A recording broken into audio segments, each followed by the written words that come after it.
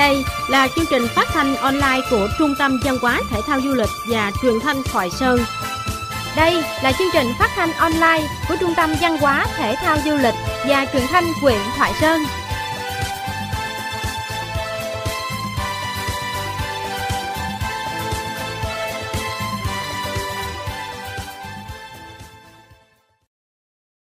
Mến chào quý vị và các bạn đang theo dõi chương trình phát thanh online của Trung tâm Văn hóa Thể thao Du lịch và Truyền thanh Thoại Sơn kỳ thứ 24 năm 2022. Mở đầu chương trình phát thanh hôm nay, mời quý vị và các bạn cùng theo dõi phần tin ghi nhận về các hoạt động diễn ra trên địa bàn huyện.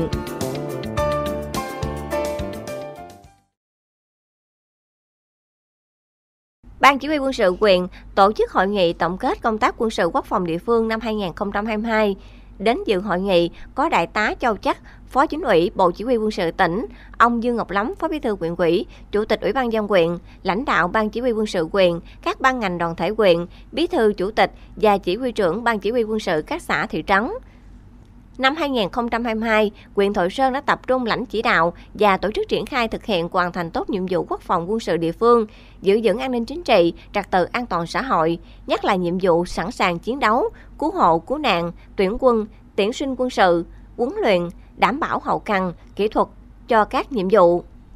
Cụ thể, huyện đã hoàn thành 100% chỉ tiêu giao, tham gia hội thao trung đội dân quân cơ động do Bộ Chỉ huy quân sự tỉnh tổ chức, đạt giải nhì toàn đoàn, tham mưu tổ chức diễn tập chiến đấu xã thị trấn trong khu vực phòng thủ năm 2022 đạt mục đích yêu cầu đề ra, đảm bảo an toàn tuyệt đối. Phát biểu chỉ đạo tại hội nghị, lãnh đạo Bộ Chỉ huy quân sự tỉnh và Ủy ban dân quyền Thội Sơn ghi nhận, biểu dương những kết quả đạt được trong công tác quân sự quốc phòng địa phương của cấp ủy chính quyền, lực lượng vũ trang trên địa bàn để công tác quốc phòng quân sự địa phương năm 2023 đạt hiệu quả cao hơn, lực lượng vũ trang huyện tiếp tục quán triệt và triển khai thực hiện tốt các chỉ thị nghị quyết của đảng, pháp luật của nhà nước, nâng cao chất lượng xây dựng khu vực phòng thủ, kết hợp chặt chẽ nhiệm vụ quốc phòng quân sự với phát triển kinh tế xã hội, xây dựng lực lượng vũ trang vững mạnh, thực hiện tốt công tác tuyển chọn và gọi công dân nhập ngũ năm 2023. Dịp này, nhiều tập thể cá nhân có thành tích xuất sắc trong thực hiện nhiệm vụ quốc phòng quân sự địa phương đã được Bộ Chỉ huy quân sự tỉnh, Ủy ban dân quyện tuyên dương và khen thưởng. Đảng ủy quân sự quyền Thoại Sơn tổ chức hội nghị phiên cuối năm 2022, Bí thư huyện ủy, Chủ tịch Hội đồng Nhân dân quyện, Bí thư Đảng ủy quân sự quyện Nguyễn Thị Minh Kiều chủ trì hội nghị. Cùng dự có đồng chí Dương Ngọc Lắm, Phó Bí thư huyện ủy, Chủ tịch Ủy ban Nhân dân quyện, lãnh đạo đảng ủy ban chỉ huy quân sự huyện, bí thư đảng ủy các xã thị trấn. Trong năm 2022, đảng ủy, ban chỉ huy quân sự huyện và cấp ủy chỉ huy các cấp đã lãnh chỉ đạo điều hành lực lượng vũ trang địa phương huyện hoàn thành tốt nhiệm vụ quân sự quốc phòng địa phương năm 2022. Nổi bật là duy trì nghiêm chế độ trực sẵn sàng chiến đấu, huấn luyện, bảo đảm hậu cần kỹ thuật cho nhiệm vụ, Tuyển quân giao các đơn vị 125 trên 125 thanh niên đạt tỷ lệ 100%, hoàn thành chương trình huấn luyện quân sự, giáo dục chính trị cho các lực lượng, chỉ đạo các địa phương tổ chức thành công diễn tập chiến đấu phòng thủ cho năm xã thị trấn và diễn tập chỉ huy tham mưu quân sự huyện theo đúng kế hoạch, đảm bảo an toàn hiệu quả. Công tác xây dựng bồi dưỡng nâng cao chất lượng cán bộ đảng viên được chú trọng, chính sách hậu phương quân đội được tổ chức thường xuyên và chu đáo quán triệt thực hiện tốt cuộc vận động, phát huy truyền thống cống hiến tài năng xứng danh bộ đội Cụ Hồ, thực hiện nghiêm túc việc kiểm điểm tự phê bình và phê bình theo nghị quyết Trung ương 4 và chỉ thị 05 của Bộ Chính trị. Phát biểu kết luận tại hội nghị, đồng chí Nguyễn Thị Minh Kiều, Bí thư huyện ủy, Chủ tịch Hội đồng Nhân dân huyện, Bí thư Đảng ủy quân sự quyền đề nghị Đảng ủy quân sự huyện chủ động tham mưu cho ủy ủy, ủy ban nhân dân huyện lãnh chỉ đạo thực hiện các chỉ tiêu nhiệm vụ quân sự quốc phòng địa phương năm 2023, tiếp tục quán triệt nghiêm túc nghị quyết, chỉ thị, kế hoạch của cấp trên về nhiệm vụ quân sự quốc phòng địa phương, công tác thi đua khen thưởng và phong trào thi đua quyết thắng gắn với phong trào thi đua yêu nước ở địa phương, tham mưu hiệu quả công tác tuyển chọn gọi công dân nhập ngũ năm 2023 tập trung đổi mới công tác huấn luyện, nâng cao khả năng sẵn sàng chiến đấu, quan tâm đào tạo bồi dưỡng cán bộ ban chỉ huy quân sự cấp xã, cấp quyền, đội ngũ dân quân tự vệ, tăng cường sự lãnh đạo, sức chiến đấu của tổ chức đảng, xây dựng đảng trong sạch vững mạnh. Đại tá Bùi Bé Năm, Phó Giám đốc Công an tỉnh An Giang làm trưởng đoàn kiểm tra, cùng các thành viên trong đoàn đã có buổi làm việc với Ủy ban dân quyền Thoại Sơn về công tác phòng cháy chữa cháy và cứu nạn cứu hộ năm 2022. Tiếp đoàn có ông Dương Ngọc Lắm, Phó Bí thư quyện ủy, Chủ tịch Ủy ban dân quyền. Đoàn kiểm tra đã kiểm tra hồ sơ quản lý, theo dõi hoạt động phòng cháy chữa cháy và kiểm tra thực tế một số cơ sở kinh doanh, điểm karaoke tại thị trấn Phú Hòa và núi Sập. Đoàn kiểm tra cùng lãnh đạo công an quyện, xã, thị trấn, các ngành liên quan trao đổi những khó khăn, cách làm hiệu quả trong thực hiện công tác phòng cháy chữa cháy và cứu nạn cứu hộ tại các xã, thị trấn. Đại tá Bùi Bé Năm, Phó Giám đốc Công an tỉnh yêu cầu Ủy ban dân quyền Thội Sơn tiếp tục chỉ đạo Công an quyện, các xã thị trấn, các ngành liên quan đẩy mạnh hơn nữa công tác tuyên truyền về phòng cháy chữa cháy, thường xuyên kiểm tra giám sát các cơ sở sản xuất kinh doanh, đặc biệt là các điểm karaoke. Phòng BC07 cung cấp công an xã thị trấn nguồn tài liệu hướng dẫn những thủ tục, quy định kiểm tra phòng cháy chữa cháy. Ủy ban dân quyện xã thị trấn đặc biệt chú trọng quan tâm hơn nữa công tác phòng cháy chữa cháy, đôn đốc lực lượng công an thực hiện tốt nhiệm vụ về phòng cháy chữa cháy và cứu nạn cứu hộ tại địa phương. Ủy ban nhân dân xã Vĩnh Trạch, Vĩnh Chánh, Định Thành tổ chức bình xét hộ nghèo hộ cận nghèo cuối năm 2022. Tại buổi bình xét, Ủy ban Nhân dân các xã Vĩnh Trạch, Vĩnh Chánh thông qua danh sách các hộ nghèo cận nghèo đầu năm 2022, các chỉ tiêu giảm nghèo năm 2022 để các ban ngành đoàn thể, bà con nhân dân, các tổ trưởng tổ dân cư cùng bình xét. Lựa chọn các hộ có hoàn cảnh đặc biệt khó khăn vào danh sách hộ nghèo cận nghèo. Đối với các hộ đã có hoàn cảnh kinh tế ổn định hơn sẽ ra khỏi danh sách hộ nghèo và cận nghèo trong năm 2022 sau khi tiến hành bình xét dân chủ khách quan tại các ấp xã Vĩnh Trạch còn 25 hộ, giảm 77 hộ và 77 hộ cận nghèo, giảm 103 hộ so với đầu năm 2022. Xã Vĩnh Chánh còn 49 hộ nghèo, giảm 46 hộ và 23 hộ cận nghèo, giảm 111 hộ so với đầu năm 2022 xã Định Thành có 20 trên 40 hộ thoát nghèo, chiếm tỷ lệ 0,69%, 130 trên 173 hộ thoát cận nghèo, chiếm tỷ lệ 1,48%. Việc tổ chức bình xét hộ nghèo cận nghèo tại các ấp nhằm đảm bảo tính công bằng dân chủ công khai trong việc lựa chọn các hộ có hoàn cảnh đặc biệt khó khăn vào diện hộ nghèo hộ cận nghèo, từ đó giúp các hộ nghèo cận nghèo được hưởng chế độ chính sách ưu đại của đảng và nhà nước để có điều kiện phát triển kinh tế gia đình, từng bước dương lên trong cuộc sống.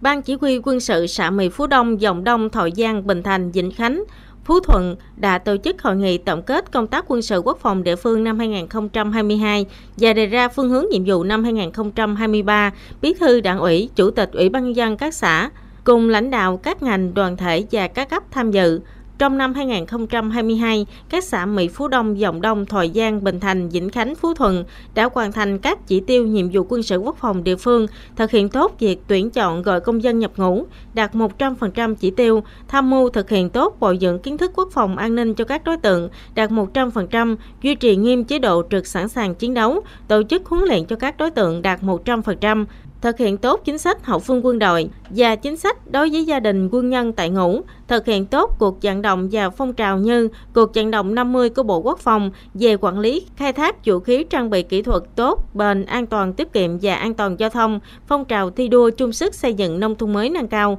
cuộc vận động chung tay vì người nghèo, không để ai bị bỏ lại phía sau, tham gia Tết quân dân,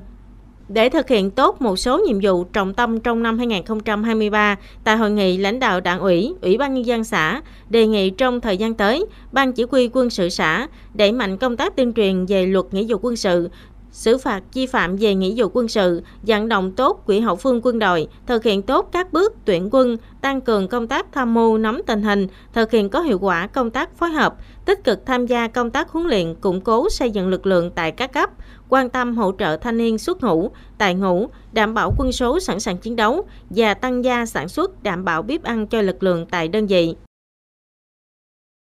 Trạm khuyến nông quyền Thoại Sơn phối hợp với Ủy ban dân xã Định Thành tổ chức hội thảo kỹ thuật một phải năm giảm và phòng trừ bệnh mũi hành trên lúa vụ đông xuân 2022-2023 cho khoảng 30 bà con nông dân trên địa bàn. Tại buổi hội thảo, trạm khuyến nông quyền hướng dẫn các kỹ thuật canh tác lúa theo phương pháp một phải năm giảm, đồng thời thông tin về tình hình thiệt hại năng suất do mũi hành gây ra trên địa bàn quyện trong thời gian gần đây, cùng đặc điểm gây hại và biện pháp phòng ngừa, khuyến cáo bà con nông dân áp dụng đồng bộ các biện pháp quản lý tổng hợp.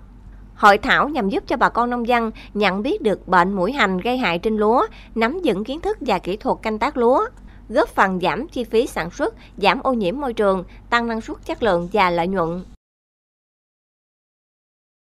Trung tâm Giáo dục Nghề nghiệp Giáo dục Thường xuyên huyện Thoại Sơn phối hợp Ủy ban Nhân dân xã Vĩnh Trạch tổ chức khai giảng lớp kỹ thuật chăn nuôi gà theo hướng an toàn sinh học cho 25 học viên xã Vĩnh Trạch. Lớp tập huấn diễn ra trong 12 ngày. Các học viên được truyền đạt những kiến thức về nuôi gà an toàn sinh học như cách chọn giống, chăm sóc, phòng trừ dịch bệnh, cách sử dụng vaccine an toàn hiệu quả và kỹ thuật tiêm phòng sử dụng thuốc quá chất hiệu quả, an toàn trong vệ sinh tiêu độc chuồng trại qua đó giúp học viên phát huy tốt các kiến thức đã học vào thực tiễn, chăn nuôi tại hộ gia đình, từ đó góp phần tạo việc làm tăng thu nhập cho gia đình. Sau khóa học, các học viên sẽ được cấp giấy chứng nhận nghề. Riêng đối với các học viên thuộc diện hộ nghèo, gia đình chính sách, người dân tộc thiểu số sẽ được hỗ trợ chi phí học tập 30.000 đồng trên người trên ngày.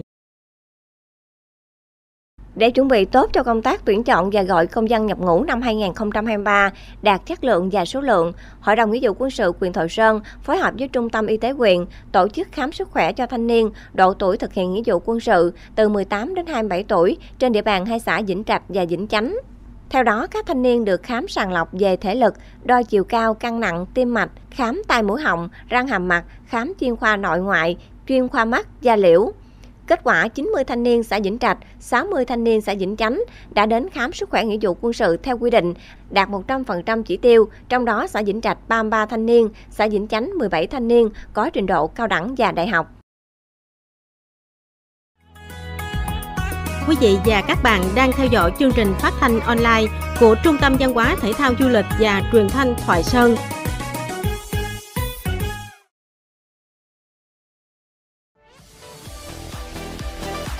Thưa quý vị và các bạn, Hội Cựu Giáo chức xã Vĩnh Phú là nơi tập hợp và đoàn kết lực lượng cựu giáo chức trên địa bàn. Những năm qua, hội đã tích cực phát huy tiềm năng trí tuệ của hội viên tham gia vào công tác giáo dục đào tạo, hưởng ứng các hoạt động văn hóa xã hội, giúp đỡ nhau khi gặp khó khăn trong cuộc sống, giữ gìn phát huy bản chất, truyền thống tốt đẹp của nhà giáo Việt Nam. Thông tin về nội dung này, phóng viên Mỹ Nga sẽ gửi đến quý vị và các bạn bài viết Hội Cựu Giáo chức xã Vĩnh Phú tâm huyết cho sự nghiệp giáo dục Mời quý thính giả cùng theo dõi.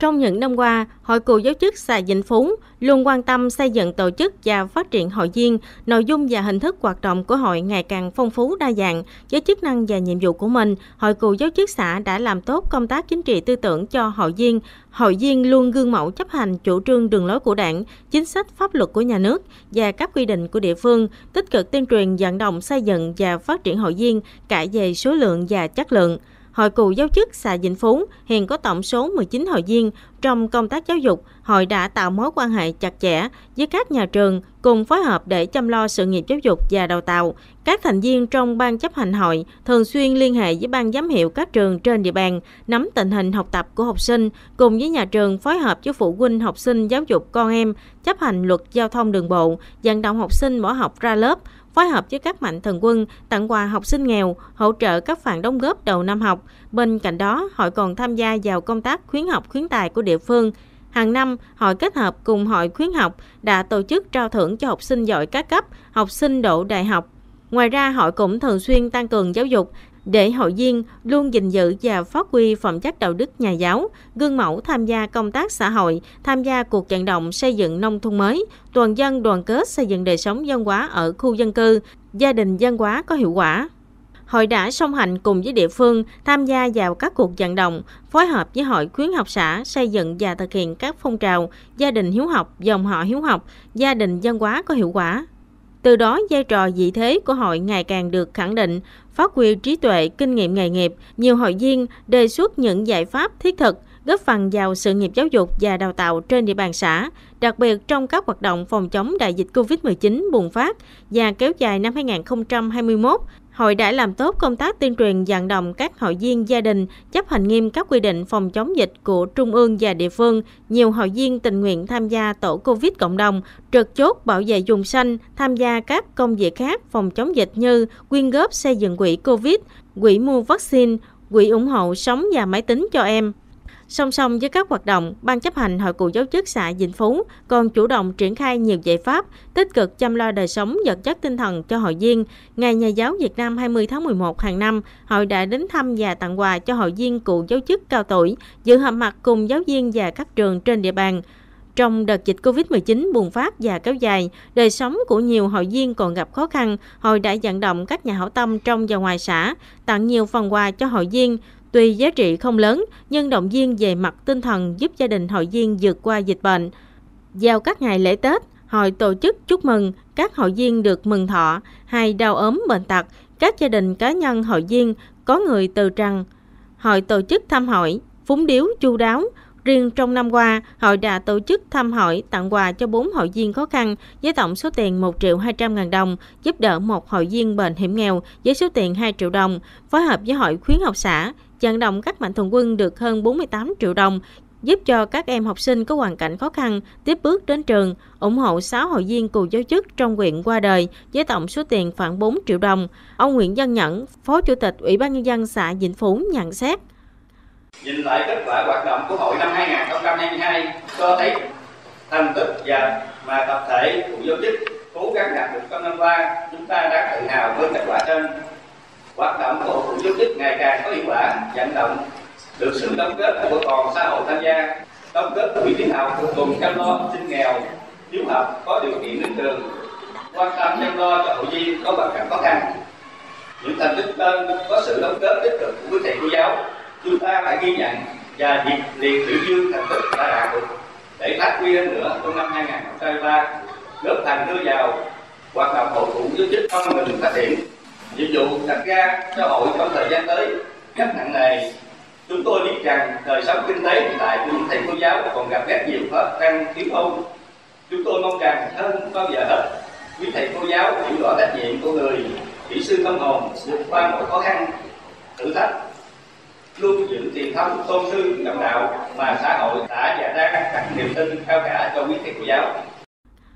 Bà Phạm Thị Thể, Chủ tịch Hội Cựu giáo chức xã Vĩnh Phú cho biết, trong thời gian tới, chúng tôi tập trung củng cố xây dựng và phát triển hội ngày càng lớn mạnh, phát triển hội viên mới trên 90%. Giáo viên nghỉ hưu vào hội, chăm lo đời sống vật chất tinh thần cho hội viên, cùng với việc phát triển hội viên, hội thường xuyên đổi mới nội dung, phương pháp các hoạt động của hội ngày càng phong phú, đồng thời phối hợp địa phương thực hiện có hiệu quả công tác khuyến học khuyến tài, xây dựng gia đình hiếu học, dòng họ hiếu học và tham gia xây dựng nông thôn mới nâng cao, góp phần tích cực trong việc phát triển kinh tế xã hội của địa phương. Với những kết quả đạt được, thời gian qua, tập thể hội và hội viên cựu giáo chức xã Vĩnh Phú đã nhận được nhiều giấy khen của lãnh đạo các cấp.